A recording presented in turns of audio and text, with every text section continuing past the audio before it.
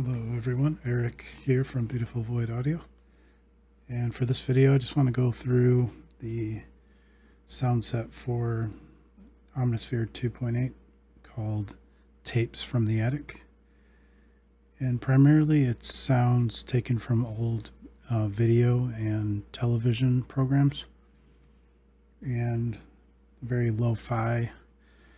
Um, I use the Wayback Machine or archive.org to look for public domain videos and then I sampled them. And for this set, I primarily looked for like orchestral samples. And so they make up the bulk of the sound sources and uh, patches. You see here, textures playable, and we have all these orchestral textures in that um, main category. We have adventure, atonal, dark, epic, soft, strange, and thoughtful. Um, so there's about 130 of those. And in total, there's 259 patches and about 220 sound sources. Um, so this is what the pitchy fairy tale orchestral texture sounds like.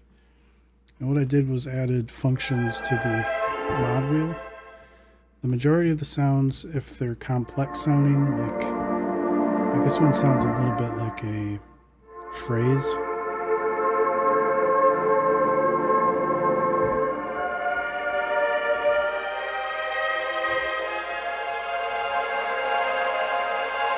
If they are complex like that to begin with, if you push the mod wheel up, it usually reduces it.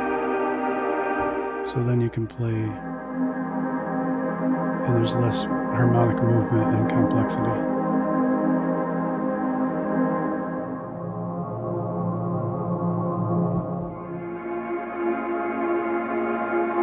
And so presumably that would be more usable in like a, a wider range of projects. But this could be nice, the more complexity and movement. Could be nice for adding some flourish to something. Um, but we also have a bunch of other instruments, um, even just a single bell type of sound here.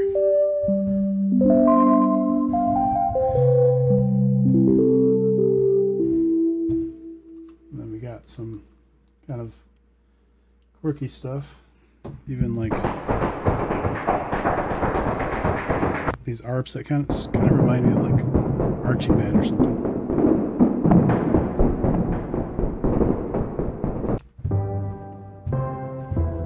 And some timpani stabs. The mod wheel controls the filter cutoff of this one. And I really like some of these pads here. These deja vu pads, I really like these.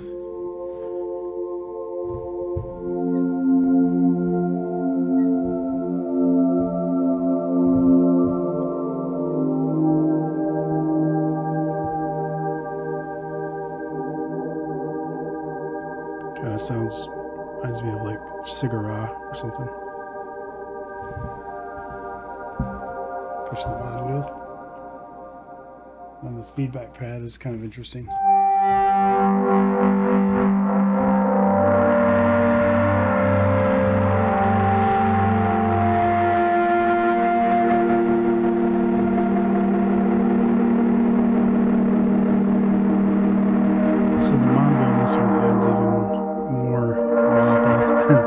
And. And I don't know, I'm maybe a little too bizarre on that one, but I, I, I enjoy it.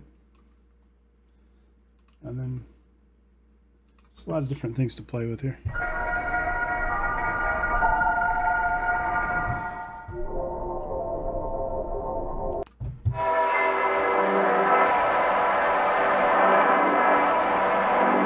A lot of times the mod wheel will just add more distortion and kind of lo-fi sound.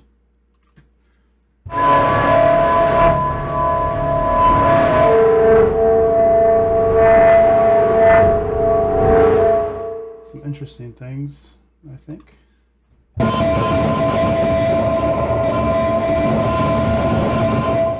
the uh, texture soundscapes.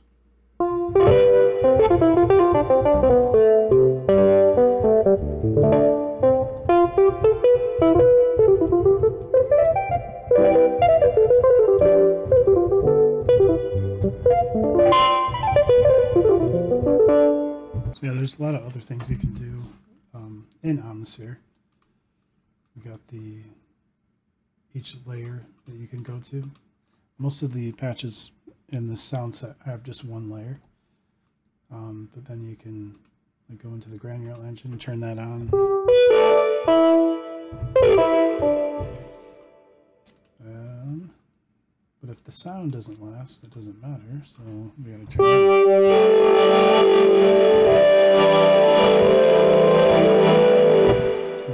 interesting stuff with that. Kind of turn any sound into a pad. And we got the effects section. You can do stuff with that. You can change these out with different effects.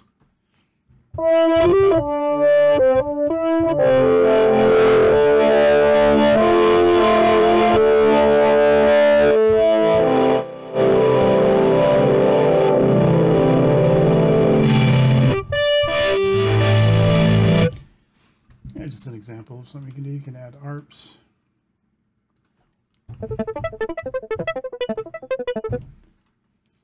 So a lot of tweakability in this um, Omnisphere instrument. Uh, power synth, some people would call it. Yeah, so in these orchestral textures, which um, comprise most of the patches, the granular engine was used a lot. For the most part, it's uh, going based on tempo which makes the a lot of times makes the phrase that it kind of creates not go faster if you're higher pitched or slower if you're lower pitched um, generally. So that makes it more usable and so you know if there's stretching of the sample and you're playing it really high it's you can play it really fast. And so you you know you can only use it in a certain setting but i think with this um, using the granular engine and having it uh, tempo sync the the movement of the grains can help uh, make it more kind of uh, usable in more variety of uh, applications.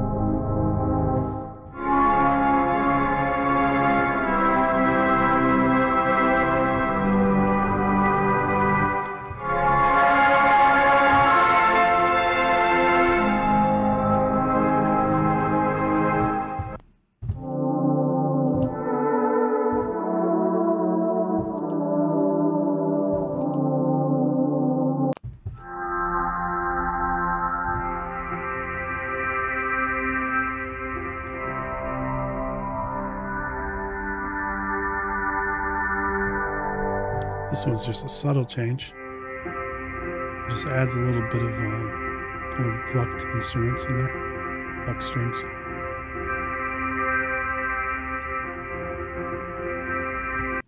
So yeah, that's uh, tapes from the attic, um, and I've put about 15 videos going through all of the patches, um, and that will be in a playlist.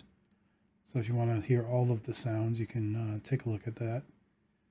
Um, but thank you for watching. Have a nice day.